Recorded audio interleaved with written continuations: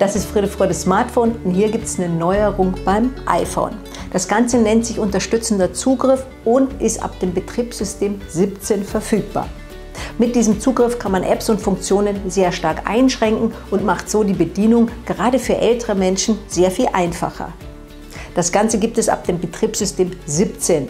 Wie finden Sie heraus, welches Betriebssystem momentan auf Ihrem iPhone installiert ist? Dazu tippe ich auf die Einstellungen. Ich finde hier allgemein und hier finde ich Software Update. Und hier wird mir meine Version angezeigt. Ich habe hier die Version 17 und damit kann ich diesen unterstützenden Zugriff verwenden. Bei mir ist also die 17 schon installiert und jetzt zeige ich Ihnen, wie Sie diesen unterstützenden Zugriff hier installieren. Das finde ich natürlich hier in den Einstellungen.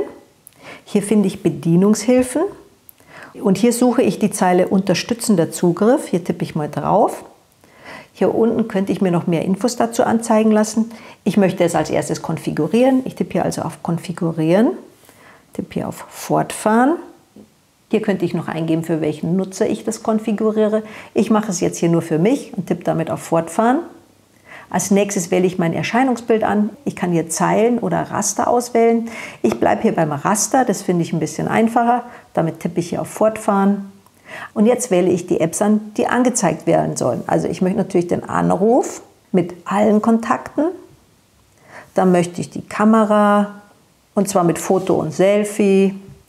Was möchte ich noch haben? Nachrichten möchte ich haben, auch für alle Kontakte. Fotos möchte ich natürlich auch haben. Hier könnte man eben auch geteilte Alben anzeigen lassen. Das bräuchte ich nicht. Und jetzt gehe ich hier noch ein bisschen nach unten. Und hier weiter unten finde ich auch noch alle anderen Apps auf diesem iPhone. Ich lasse es erstmal damit und tippe hier auf Fortfahren. Hier gibt es noch ein paar weitere Informationen. Auch hier tippe ich auf Fortfahren. Hier werde ich noch mit darauf hingewiesen, dass ich mein iPhone per Face ID entsperren kann und dass der Code aktiv ist. Diese Einstellungen könnte ich hier noch mehr ändern. Ich lasse das alles so, tippe auf Fortfahren. Jetzt muss ich hier noch einen Code festlegen für diesen Zugriff. Ich nehme jetzt hier einfach mal 1, 2, 3, 4. Den muss ich nochmal wiederholen. Hier könnte man jetzt noch eine Apple-ID festlegen, mit der man diesen unterstützenden Zugriff beendet. Ich lasse das jetzt und tippe hier auf Später.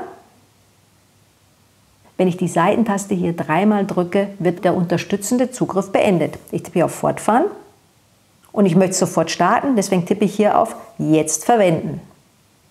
Und bekomme den Hinweis, dass ich dazu die SIM-Pin ausschalten muss. Deswegen tippe ich hier auf Später starten, gehe jetzt hier zurück und noch einmal zurück.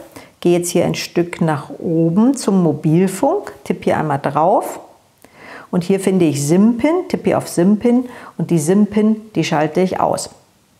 Dafür muss ich die PIN-Nummer jetzt noch einmal eingeben und damit ist sie aus.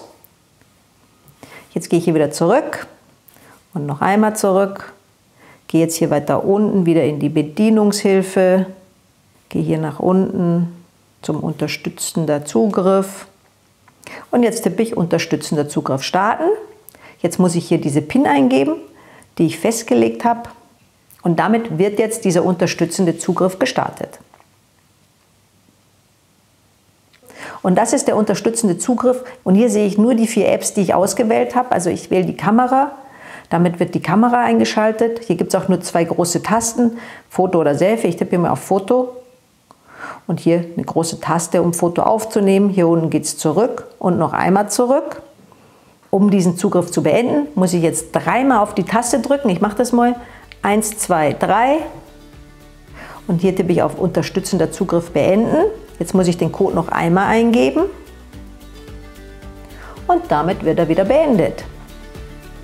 Das ist also der unterstützende Zugriff, der die Bedienung eines iPhones sehr viel einfacher macht. Wenn Ihnen meine Videos gefallen, dann freue ich mich, wenn Sie unten auf Abonnieren tippen und beim nächsten Mal wieder reinschauen. Tschüss!